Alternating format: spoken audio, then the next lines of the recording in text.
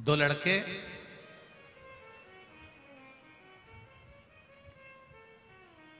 कल की कथा में स्मरण।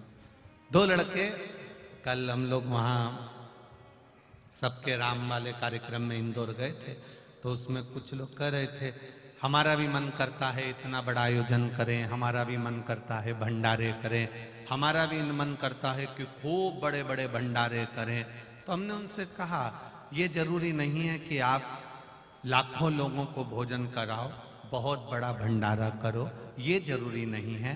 भंडारा छोटा भी हो सकता है।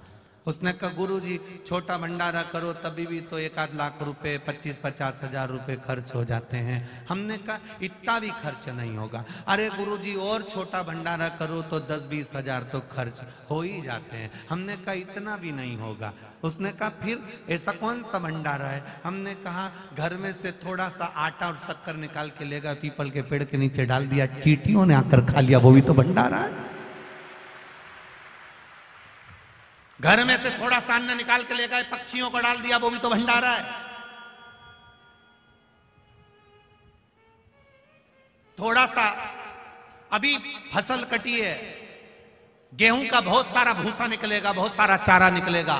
बोरा भरकर आप अपनी गाय के लिए रखते हो, एक बोरा भरकर दूसरों की गाय के लिए भी रख लो, भंडारा ही तो कहलाएगा। भंडारा ही तो है।